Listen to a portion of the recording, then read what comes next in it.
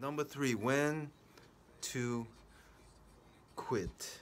뭐 매장도 보면은 샵도 보면은 커피숍도 보면은 그냥 밖에 다니면 이거저거 많이 바뀌잖아.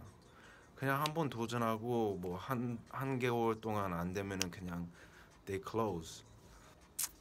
내 생각은 그렇게 하면 안 돼요.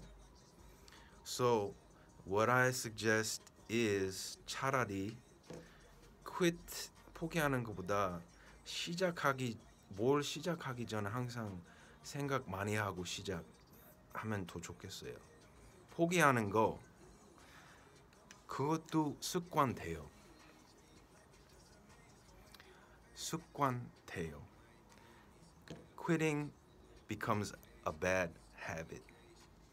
반대로 finishing 완, 완성시키는 게 그것도 습관이 돼요. You make a 습관, 습관을 만들어야 돼요. 한 개. So 아마 네 친구들 중에 알겠지만 완성시키는 사람들 많이 없어요. 하고 조금 하다가 이거 다른 거 해. 조금 하다가 다른 거 해. 이런 사람들 많잖아요. 근데 내 추천 아까 말씀대로 시작하면은 끝까지 끝나 주세요. You gotta finish. 버릇 위에서 you gotta finish. 뭐 완성시키는 사람이면 자신감도 생기고 그러면은 더 힘든 도전도 할 수 있고 그래서 제 추천은 목표 만들 때 네가 완성시킬 수 있는 목표 만들어요.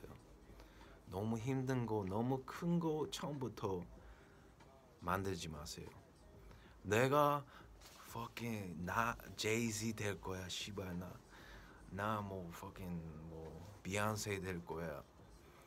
이렇게 처음부터 이렇게 생각하면은 그거 다 좋지만 근데 그 사이에서 네가 완성시킬 수 있는 목표들 꼭 만들어야 돼요. 뭐 예를 들면은 매일매일 내가 앉아서 3시간 가사 집중하면서 쓸 거예요. 이런 목표 할 수 있잖아. 거의 누구든지 할 수 있죠. 그거부터 이런 거 만들고 나중에 좀 더 큰 거 큰 목표 만들고 이렇게 하면 그런 그렇게 하면 좋겠습니다.